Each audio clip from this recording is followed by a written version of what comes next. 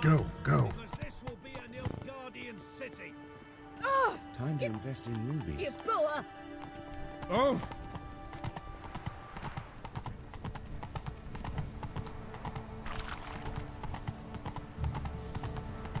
Think I'll go lie down. State your origins. Balance a high with One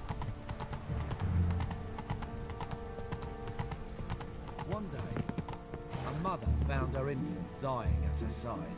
Despair gripped her and sought to find a medic. Fortunately, her husband explained no medic would help the child, and he took the babe and placed it before the flame of the eternal fire. And the child was healed the next day and lived still, the apple of his parents' eye.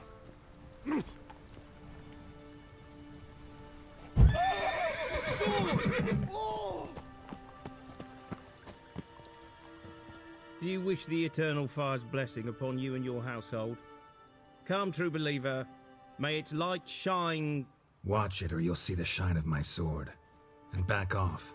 That incense is making me nauseous.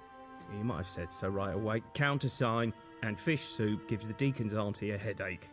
What do you need? Before you ask, I'm all out of hemorrhoid cream. What are you talking about? Your incense that bad for the brain? What do you mean? You gave the password, signalling you wish to buy some herbs. Don't know any password. And if I said it by accident, then you folk run a shoddy conspiracy. That incense is making me nauseous. Brilliant. Dah. Hope barnacles break out on your cock, you son of a leprous whore. Hope it grows wings and flies off to warmer climes come Yule. If you report me, you I'll make sure our pyres stand side by side. That way I can blow on yours.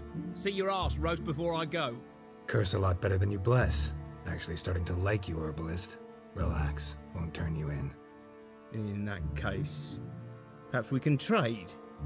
I've many interesting substances. Take care.